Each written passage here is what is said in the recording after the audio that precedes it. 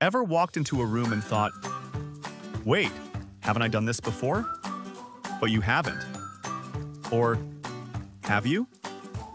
That strange glitch in the matrix feeling has a name deja vu. And nope, it's not time travel or a past life flashback. It's your brain doing something weird and wonderful. Beginner's Pill Your regular dose of learning.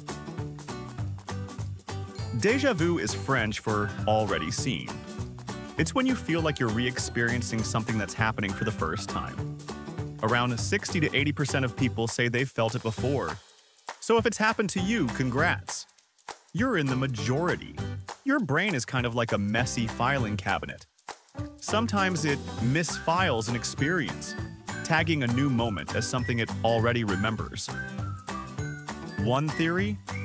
Deja vu happens when short-term memory accidentally gets stored in long-term memory instantly, so your brain goes, Whoa, I remember this. But really, it just happened.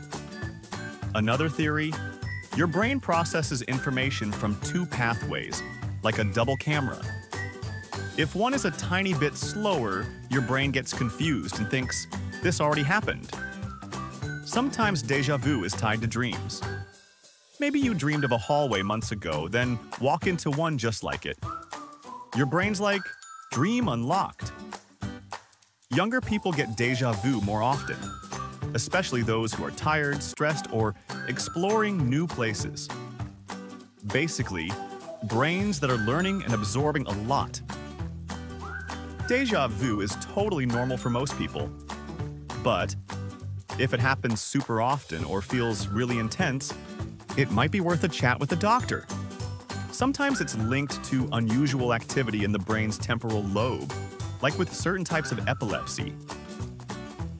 There are other versions of deja vu too. Ever heard of jamais vu, never seen, when something familiar suddenly feels totally strange? Presque vu, almost seen. Like when a word is on the tip of your tongue, déjà entendu, already heard.